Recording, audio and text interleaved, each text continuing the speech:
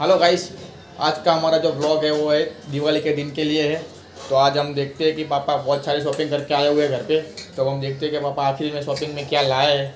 तो चलो दोस्तों, मैं आपको दिखाऊँगा कि शॉपिंग में पापा हमारे घर के लिए क्या लाए हैं। तो चलो दोस्तों, देखते हैं। फाइनली दोस्तों, आप लोग देख रहे होंगे कि हमारे, मेरे पापा कितनी शॉपिंग करके लाए हुए हैं।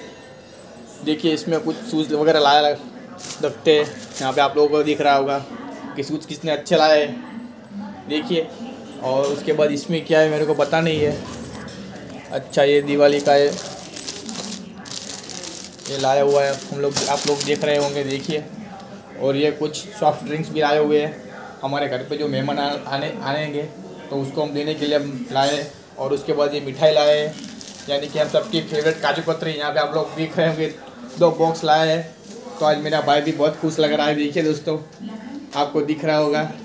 ठीक है दोस्तों तो अब उसके बाद हम अब ये जो लाए हैं मेरे पापा, उसको हम हम अपने घर पे हम उसको लगाएँगे। तो चलो दोस्तों, मैं आपको दिखाऊँगा कि अब हम कहाँ पर लग कहाँ पर लगाने वाला है। तो फाइनली कैसे आप लोग देखिए कि जो पापा शॉपिंग करके आए थे तो हमने वो उसको अपना हमारे डोर पे लगा दिया है। तो आप लोग देख रहे होंगे कि कितना बहुत अच्छा लग रहा है। देखिए दोस्तों, और उसके बाद हमारा जो दूसरा डोर है, उसके ऊपर भी लगाया गया है।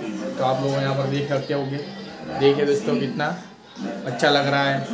ठीक है दोस्तों तो आज का ब्लॉग हम यहीं पे अब ख़त्म करते हैं।